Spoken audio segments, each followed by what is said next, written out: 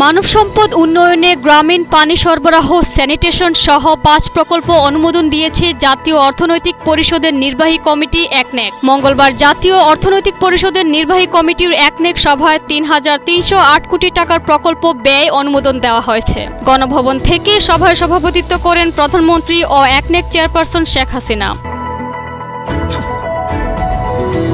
সরকারি শিক্ষক, কর্মকর্তা, কর্মচারীদের জন্য যেসব বাসা বা ফ্ল্যাট বরাদ্দ দেওয়া থাকে, সেটা ব্যবহার করতে হবে। বরাদ্দকৃত বাসায় না থাকলে বাড়ি ভাড়া বাবদ যে সরকারি বরাদ্দ আছে, তা পাবেন না বলে জানিয়েছেন প্রধানমন্ত্রী শেখ হাসিনা। এই বিষয়ে অর্থ মন্ত্রণালয়কে প্রয়োজনীয় ব্যবস্থা নেওয়ার নির্দেশও দিয়েছেন তিনি। রাজধানীর মিরপুরের পল্লবীর কালশির তালতলা বস্তিতে আগুনে পুড়েছে বস্তির দেড় শতাধিক ঘর। প্রায় দেড় ঘণ্টার প্রচেষ্টায় আগুন নিয়ন্ত্রণে আনে ফায়ার সার্ভিস। সীমান্ত সমস্যা নিয়ে বিএনপির কর্মসূচি লোক দেখানো বলে মন্তব্য করেছেন আওয়ামী লীগের সাধারণ সম্পাদক এবং সড়ক পরিবহন ও সেতুমন্ত্রী অবায়দুল কাদের। তিনি বলেন, সরকার সীমান্ত এলাকায় স্থিতিশীলতা রক্ষায় অত্যন্ত আন্তরিক।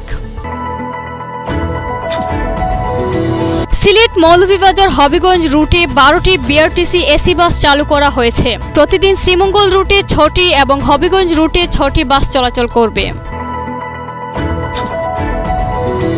করোনা ভাইরাসে আক্রান্ত হয়ে গত চব্বিশ ঘন্টায় দেশে আরও সতেরো জনের মৃত্যু। এতে দেশে মোট করোনা মৃতের সংখ্যা দাঁড়িয়েছে সাত হাজার তিনশো উনত্রিশ জনে।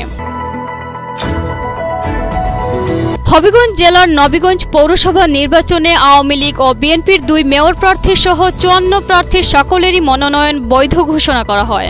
মঙ্গলবার জেলা নির্বাচন কর্মকর্তার কার্যালয়ে প্রার্থীদের মনোনয়নপত্র যাচাই বাছাই শেষে এ তথ্য জানান নির্বাচন কর্মকর্তা মোহাম্মদ মনিরুল ইসলাম। সিলেটের সন্ত্রাস বিরোধী বিশেষ ট্রাইব্যুনালের প্রথম রায়ে দুজন খালাস।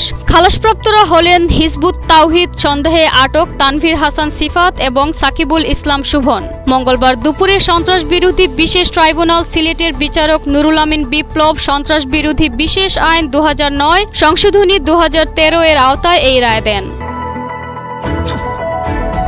একাত্তরের কথার সম্পাদক এবং প্রকাশক সহ সাংবাদিকদের বিরুদ্ধে ডিজিটাল নিরাপত্তা আইনে মামলা দায়েরের প্রতিবাদে সিলেট জেলা প্রেস ক্লাবের উদ্যোগে মানববন্ধন ও প্রতিবাদ সমাবেশ অনুষ্ঠিত হয়েছে।